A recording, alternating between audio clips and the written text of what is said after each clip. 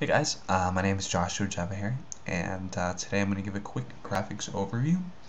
Uh, for those of you interested in Unreal Development Kit tutorials, um, probably, for you know, I would say for most people, um, you probably don't need to watch this, but for those for those of you who really don't have a basic understanding of graphics, this might be a good thing to watch before you dive into the editor.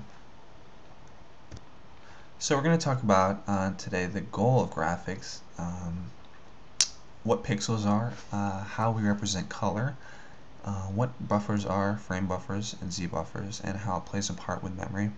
And we'll finish with frame rate. And again, these are all basic concepts that are not really going to go into much detail at all, but just to give you an understanding. And I will, you know, mention a few of these terms uh, in my tutorials and just make the assumption that you understand what's going on. So, uh, again, the reason why we want to learn about this stuff is because of performance. And excuse me, we understand that um, you know creating game media is not necessarily something that's just an artistic endeavor. It's as much of an artistic endeavor as it is uh, a technical concern.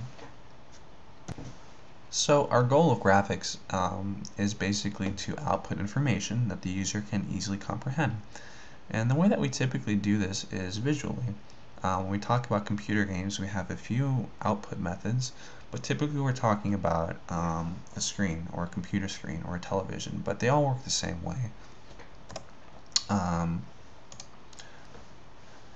so um, we're going to talk about pixels. Um, you guys probably already know this, but pixels are the smallest elements in a raster image. Um, they're kind of the building blocks to what makes an image an image. And when you put thousands of pixels together, it gives the appearance of form and shape and it gives you you know something that you would recognize. Uh, these pixels are typically arranged in a two-dimensional array and each pixel has um, typically three or four components but usually three when we talk about graphics that rep that uh, determine what uh, value or color each pixel is. So um, if you wanted to think of it as a uh, coordinate system, um, each pixel would have a, sort of a location or a coordinate. And in that coordinate you would also have information on the color of the pixel. And really it's that simple uh, when we talk about um, 2D pixel representation.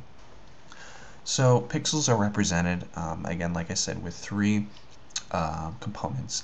And uh, those three components are the red, green, and blue components. And we call this system uh, this component system the RGB color space scheme. Um, each color, red, green, and blue, is given 8 bits, uh, which allows for 2 to the 8th, or 256 values each. I apologize, I should say 2 to the 8th, not uh, 28.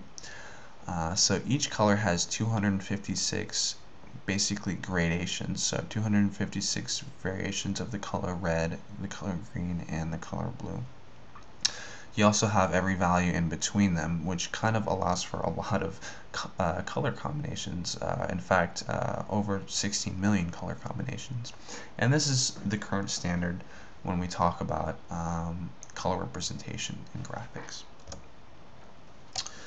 Um, we also have another scheme. It's actually not uh, a different scheme or method of representing color. It's it's just um, another scheme that actually adds an extra channel. It's called the RGBA color space scheme and it's 32 bits and adds an 8-bit alpha channel and usually the alpha channel is used to represent transparency um, uh, and like I said it's not any different in how you represent the information so it actually just allows you um, some extra information and that's useful um, uh, later and we'll talk about that.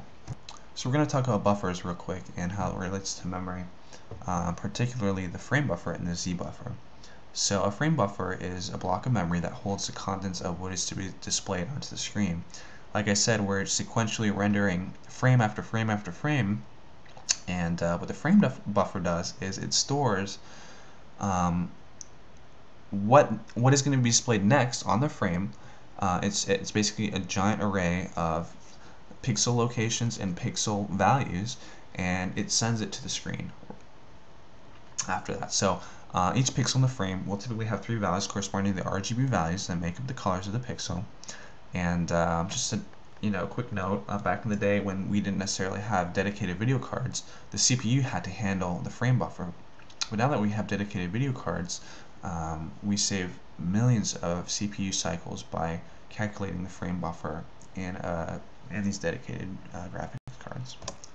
Uh, ZBuffer is uh, sort of another behind the scenes scenes layer of pixels that determines the depth of the scene based on the uh, camera point. So what I mean by that is it's sort of what handles um, how you draw objects in front of other objects in the right order. Um, a common uh, error that you'll see that's related to the Z buffer is what's called Z fighting or depth fighting. And this refers to the geometry that doesn't know where to render because it's so close to other geometry that the Z buffer can't distinguish um, any noticeable distance and depth. So a lot of times you'll see flickering on maybe on a decal on the ground. Um, the decal is so close to the ground that it doesn't know um, which to render first. So maybe it'll render uh, the decal one frame on top of the floor, and then sometimes it'll render the floor uh, on other frames. So that's what's referred to as z-fighting. And the way that you can get around that is to either increase the distance between the two objects or have a much higher accuracy in the z buffer. So why do we care about this stuff? Um, well, it's obviously the frame rate. I mean, uh, a good gaming experience is going to be an experience that runs smoothly or uh, appears to run smoothly. So many games are actually capped at about 24 or 30 frames per second uh, and um, you'll actually notice that uh, the computing time, the time for this, the computer to calculate everything on the screen and put it into the frame buffer and render it is actually inversely proportional to the frame rate. So the higher the computing time, the more information on the screen, the more polygons, the more material, uh, complicated shaders and visual effects. Um, that's going to lead to a lower frame rate.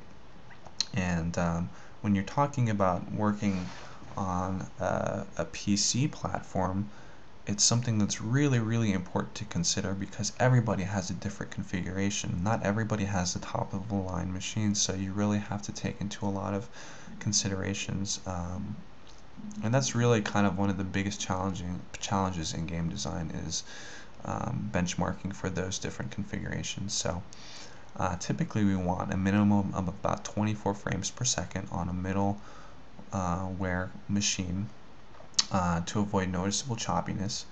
And a fun little fact is that actually humans can only perceive about a maximum of 60 to 70 frames per second. Anything more, and you can actually have uh, sort of um, like a like a bell curve or a point of diminishing returns, I should say, where you get undesirable results. So I, I don't know if you've ever seen maybe a helicopter when it's spinning its rotors so fast that it almost looks like it's spinning backwards if you've noticed. So that can actually be directly applied in games and so yeah, 60 to 70 frames per second is about as high as you'd ever want to go. But you know what? If if you have that many frames, then you're you're you really don't have a lot to worry about.